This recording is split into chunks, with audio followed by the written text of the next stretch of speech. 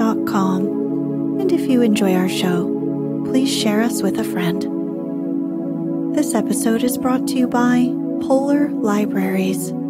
Tonight, we'll read about igloos and other polar quarters from the book Secrets of Polar Travel, written by Robert E. Peary and published in 1917. Although igloos, or snow shelters, are often associated with all Inuit, they were traditionally used only by the people of Canada's Central Arctic and a certain part of Greenland.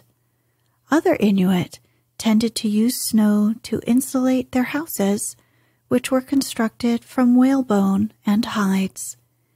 Snow is used because the air pockets trapped in it make it an insulator. On the outside, temperatures may be as cold as negative 45 degrees Celsius or negative 49 degrees Fahrenheit. But on the inside, the temperature may get as warm as 16 degrees Celsius or 61 degrees Fahrenheit when warmed by body heat alone.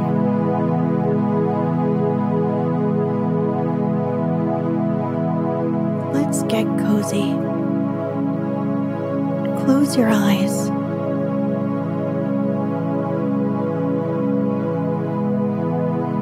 Relax your body into the softness of your bed.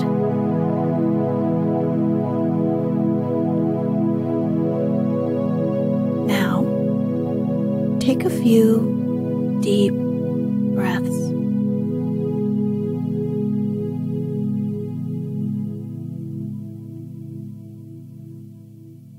matter of winter quarters is one of pronounced importance to polar travelers, ranking second only to the question of an abundant supply of food. Warmth, dryness, and abundance of light are the great desiderata. A knowledge of Eskimo methods of house building, combined with a little ingenuity, enables these needs to be secured with few and simple materials. Headquarters for my expedition of 1891 to 1893 were established in McCormick Bay, where I was sure of securing an abundance of fresh meat for my party of seven. The site for our winter home was selected only after most careful consideration. It was essential that it be on land high enough to ensure dryness, that it be sheltered from strong winds, and yet get as much sunlight as possible. It should also be free from danger of snow or rock slides and from spring floods, and not too far from shore. A grassy knoll on the southern shore of the bay, about a hundred feet from the water's edge, was finally decided upon as meeting most fully our requirements. A brook on each side made a good water supply certain. A hundred feet back of the house were brown cliffs, which had the disadvantage of cutting off the sun in the early spring and late autumn, but they served as a protection against the winds, and we felt this was the best we could do.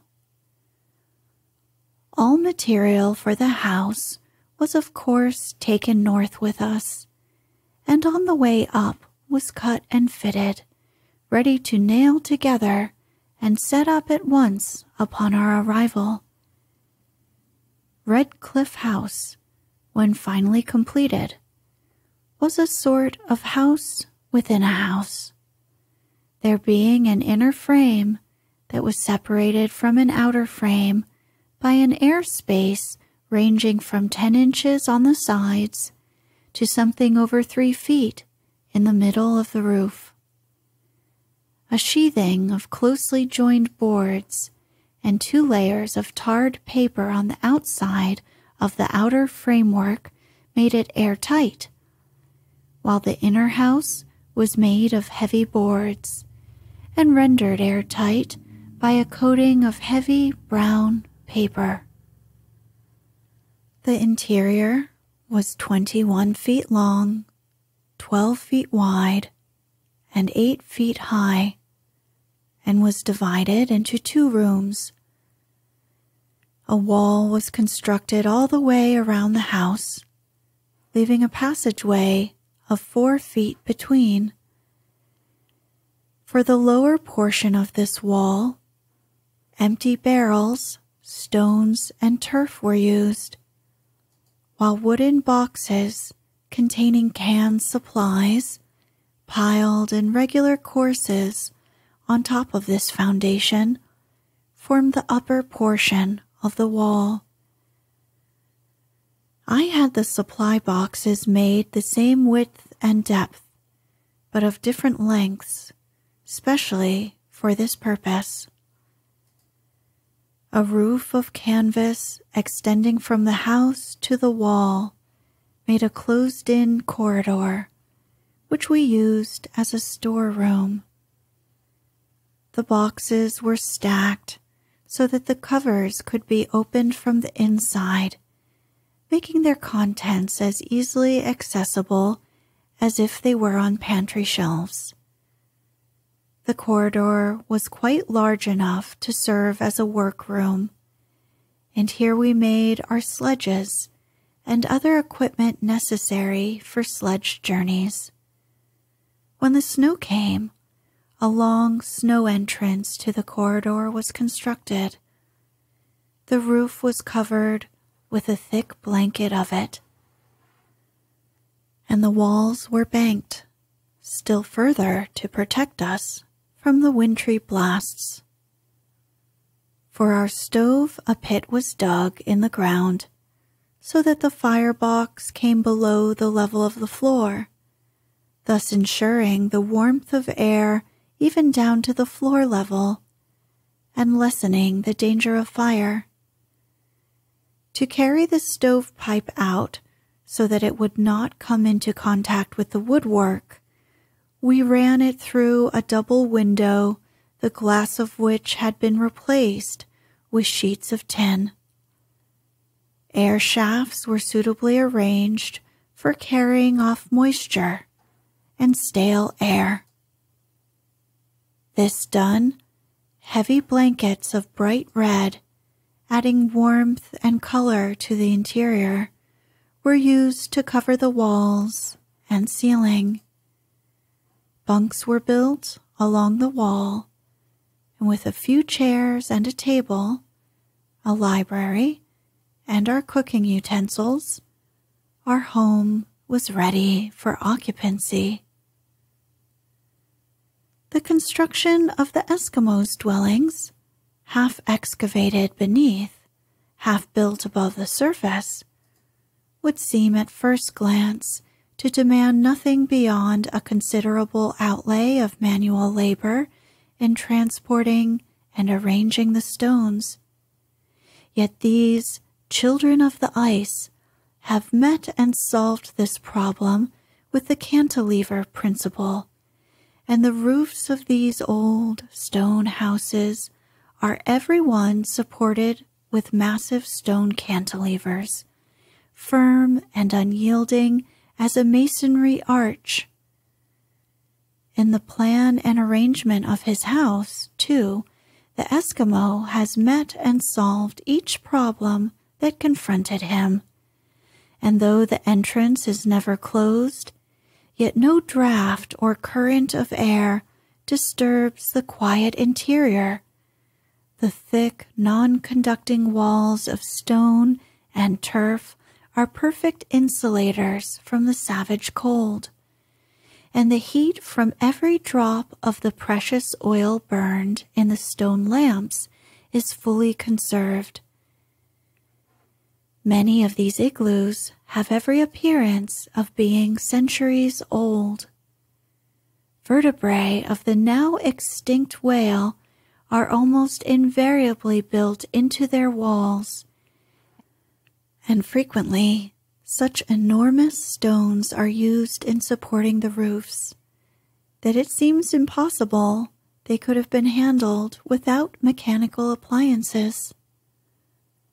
All the roof and bed platform stones, which must be large, flat, and thin, as well as many of those for the walls, had to be brought by the men on their backs from the mountains, sometimes a distance of several miles. The construction of the igloos falls very largely upon the women, and in an emergency, they even assist in bringing stones. These stone dwellings are occupied from the latter part of September till April or May, depending upon the season, locality, and movements of the occupants. By May, they usually become very damp and then the family betakes itself to its tupik, or tent, removing, at its departure from the igloo, the windows and a portion of the roof, so that throughout the summer the sun and wind may have free access to the interior. There is no ownership of these igloos beyond the period of actual occupancy any one of them is free to each and all, and it is the exception rather than the rule that a family lives in the same igloo, or in fact, in the same place, two years in succession. The building of a new igloo is rather a rarity, also, and is necessary only when, for some special reason, an unusually large number of tribespeople are attracted to one place. Usually, no more families locate in a place than the existing igloos will shelter. These igloos are for use only for a few weeks. The Whale Sound Eskimos do not, like the Baffin land tribes, use snow houses for their permanent winter habitations. A long, low, narrow snow tunnel gives access to the igloo and protects the interior from drafts or penetration by the furious spring storms. A still more temporary form is the small, rapidly constructed snow igloo used by traveling parties in winter and spring, and occupied only for a single night unless the travelers are held by storms. This is the kind of igloo invariably used by my parties on their sledging trips. The Eskimos can nearly always tell who built an igloo, though they are all constructed on one general principle. There are always peculiarities of individual workmanship which are readily recognized by these experienced people who notice every minute trifle. The fundamental principle of all these houses is that warm air is lighter than cold and rises. The level of the bed and living platform in an Eskimo igloo is always higher than the highest part of the entrance opening. In the best of the permanent winter igloos, the entrance is through the floor. As a result of this construction, every bit of warm air is retained in the igloo, and the long and, whenever practicable, downward sloping entrance tunnel prevents even the most violent air waves of furious blizzards from penetrating the quiet interior. The vertical variations in temperature in the winter igloo of a successful hunter who has a good store of blubber to keep the stove lamps going are pronounced. On the bed platform, At the level of the lamps, the host and hostess and children are usually in their birthday suits, unless the lady, in deference to the presence of a guest, assumes a strip of sealskin half an inch wide. If one stands, bringing the head to the top of the igloo, it is like putting one's head into a furnace. Yet a drop of water spilled on the floor of the igloo, a foot below the level of the bed platform, is instantly frozen into ice. On several subsequent expeditions, my parties wintered on board ship and this introduced new elements. The first thing to be done by any well managed polar expedition on reaching winter quarters is to land everything in the way of supplies and equipment and fuel, and to erect suitable shelter for the entire party ashore as a precaution against fire or other mishap to the ship the ship should, in fact, be emptied completely. My first practical working out of this proposition was with the Windward at Cape D'Urville in the winter of 1898 to 1899. The boxes of supplies landed here were erected into a compact house with a box tunnel entrance fitted with a small stove, and banked in completely with gravel, which in winter, of course, became covered with snow, giving the appearance of a snowdrift. This house, in addition to serving as insurance for the party during 1898 and 1899 in case of the loss of the Windward, lying unprotected in the ice offshore, was during the three following years a welcome haven and refuge for my party's sledging from Payer Harbor to Fort Conger.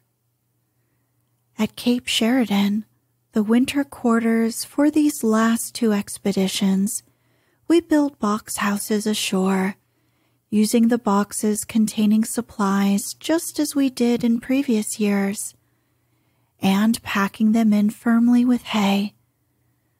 The purpose of our supplies for this purpose in boxes of certain sizes was one of the many details which determined the success of the expedition. The heavy cases of bacon, flour, etc., were used as so many boxes and blocks in the construction of several houses about 30 feet long and 15 feet wide.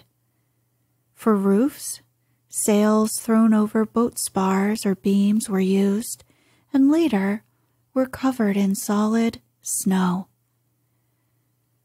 The adjacent shore for a quarter of a mile was lined with the remaining boxes of supplies, each item of provisions having a pile to itself. This packing box village was called Hubbardville. Had we lost the Roosevelt at Cape Sheridan, we should have spent the winter in the box houses which we constructed, and in the spring should have made the dash for the pole just the same. We should have then walked the 350 miles to Cape Sabine, crossing the Smith Sound ice and waiting for a ship there. The second new element introduced into my later expeditions by the presence of a ship was the preparation of the ship itself for winter quarters. A partial beginning at this was made on the Windward, where my own personal quarters were an Erie Railroad caboose given to me by my friend who was president of that railroad. This caboose I put on the deck of the Windward between the mainmast and foremast and bolted it down like any deck house. In the autumn at Cape D'Urville, When the temperatures began to go down seriously, I had my Eskimos encase and cover it in with a wall of snow blocks and build a beehive shaped vestibule or storm entrance of snow blocks round the door. This arrangement, in its comfort, facility of ventilation, freedom from the moisture and condensation incident to the quarters of the others below decks, and the old system of ship's quarters, was so superior that I was convinced the only place for the quarters of a polar ship was on deck. In building the Roosevelt, I put the quarters for everyone, officers, crew, and Eskimos, on deck. And in the two expeditions of 1905 to 1906 and 1908 to 1909, in wintering at Cape Sheridan, I worked out fully what I believed to be the most comfortable and satisfactory method of ship's winter quarters. As a result, the officers and crew of my last two expeditions had light and roomy accommodations on deck, a great improvement over the old method of housing a party below decks, as in all old fashioned ships, and even in ships built comparatively recently for polar work.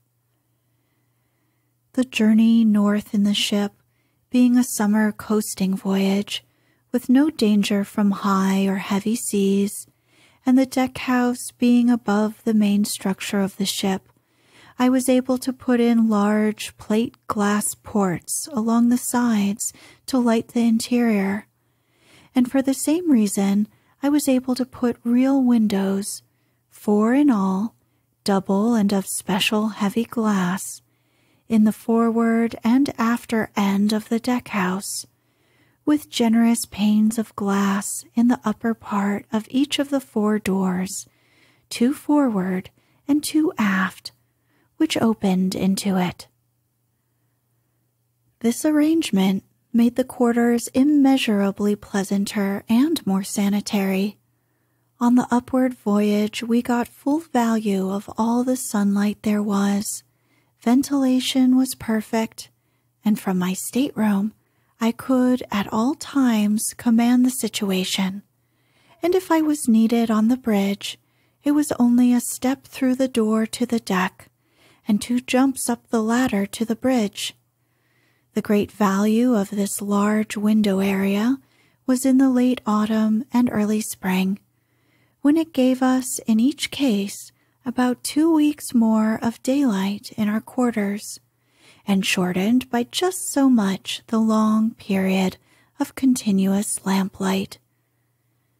The arrangement was also invaluable for those left on board when the main spring sledge parties left for their work, and for the sledge parties themselves in the weeks of waiting after their return in May or June till the ship could break out of her winter quarters in July or August. My polar experience has made me a fanatic on the subject of light. My little summer cottage on the bluff point of a rocky islet off the main coast has so many windows that it is known by the surrounding inhabitants as the glass house. Sun worship seems to me the most natural of religions. But back to the snow. Behind this snow armor protection against the siege of the Frost King, we pass the winter in complete comfort. With a minimum expenditure of fuel, with perfect ventilation, with very little of the moisture and condensation which is usually the bugbear of polar ships' quarters, and with instant and easy access to the outside for work or in an emergency. The snow armor costs nothing. It is found on the spot, and therefore takes no room on the upward voyage. And when it has served its purpose, it is thrown overboard. Another experience was at Payer Harbor. When the remodeled Windward went north in 1901, she had a commodious and well built deck house forward that had been constructed for quarters for her officers. On my decision to remain north another year, remembering my previous experience, I decided to save my party the valuable time and labor incident by constructing winter quarters utilizing this deck house.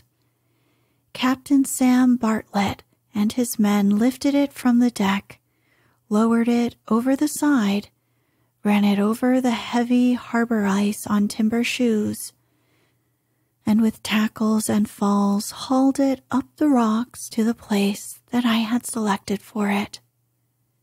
Here, after the ship had left, we banked it in completely as high as the bottom of the portholes with loose, dry gravel, which is abundant at Payer Harbor, and when the snow came, covered it completely, roof and all, with an armor of two foot thick snow blocks, carefully laid and cemented together by throwing water on the joints.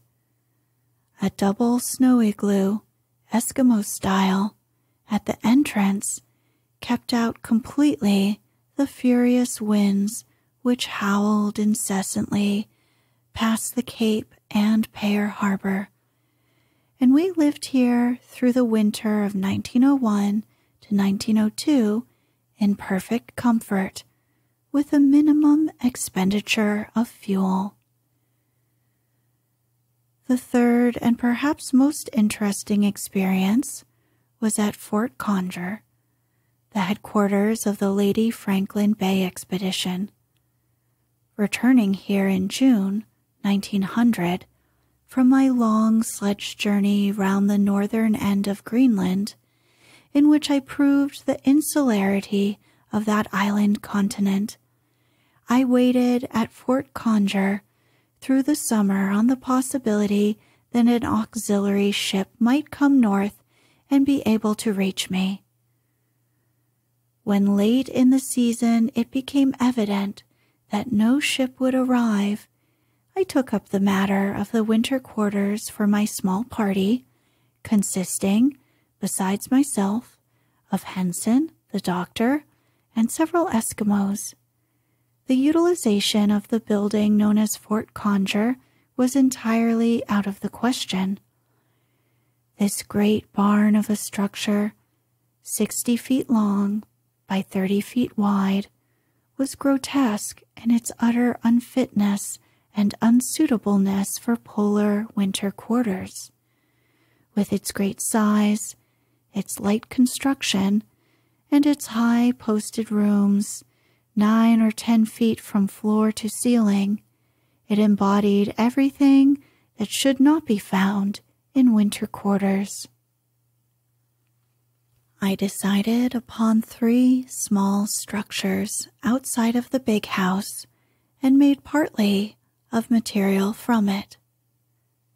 For myself, partly to economize the lumber, partly as a practical experiment, and partly to furnish occupation and amusement for myself, as I still was somewhat incapacitated from taking part in the hunting trips over the rocks and frozen ground as a result of an accident to my feet the year before. I decided to make for myself a winter den, as perhaps it might be called, from an eight by 12 A tent, which I found among the things at Conger as a nucleus. On top of these joists, I erected the tent, putting in a few intermediate rafters on each side of the ridge pole to prevent the side of the tent from sagging. Fitted a small door frame and door into one side of the tent and on the sides, two window frames and windows taken from the big house. then covered the tent completely, roof and gable ends, with the straw filled mattresses taken from the men's quarters of the big house.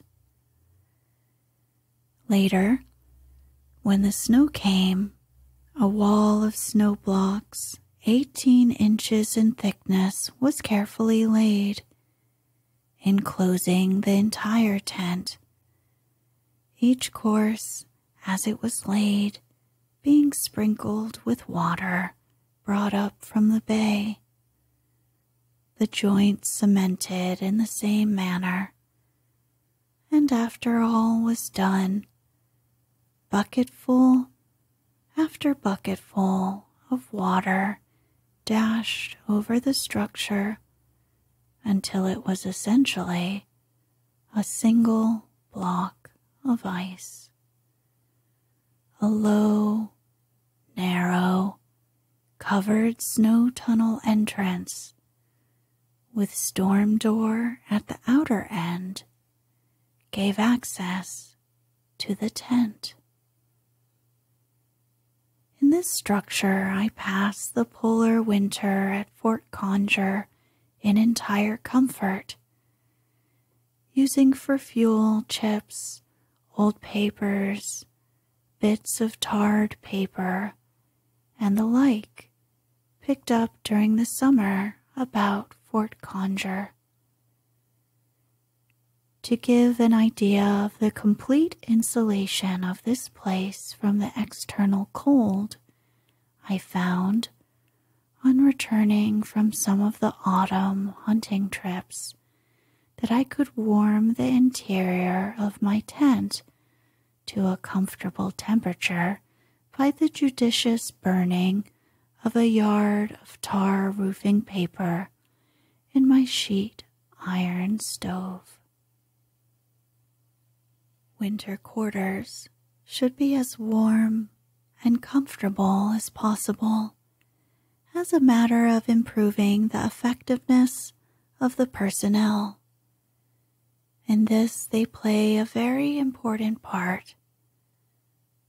Men who have passed the winter in comfort and ample warmth have more vitality and endurance and will stand the strain and exposure of the spring sledge journey better than men who have been uncomfortable and chilly through the winter. The Eskimos, through generations of life in the polar regions, have worked out from stern experience the true practice in all such life questions, and we find them keeping their winter habitations heated up to the 90s, and we find them gorging themselves with food when food is to be had. As a result, when the necessity arises, they are in condition and have a reserve vitality which enables them to endure bitter cold and to go for a long time on scant food. Even the animals, the muskox, the reindeer, the hare, know the trick, and during the summer eat incessantly and travel little, and thus get themselves in condition for the bitter winter when it requires incessant travel to secure starvation rations. After the question of suitable quarters for a party comes the problem of keeping them in good spirits during the four months of darkness, the secret of which lies in keeping each member busy and in varying the monotony of the work as much as possible.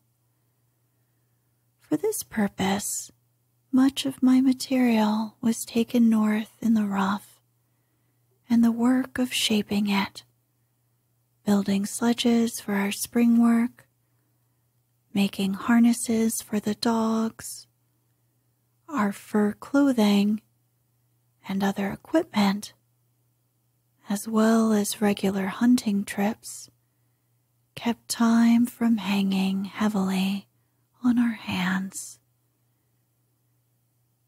The younger members of the party invariably went out on hunting parties during the eight or ten days of moonlight each month. Those who went into the field one moon, staying on the ship the next.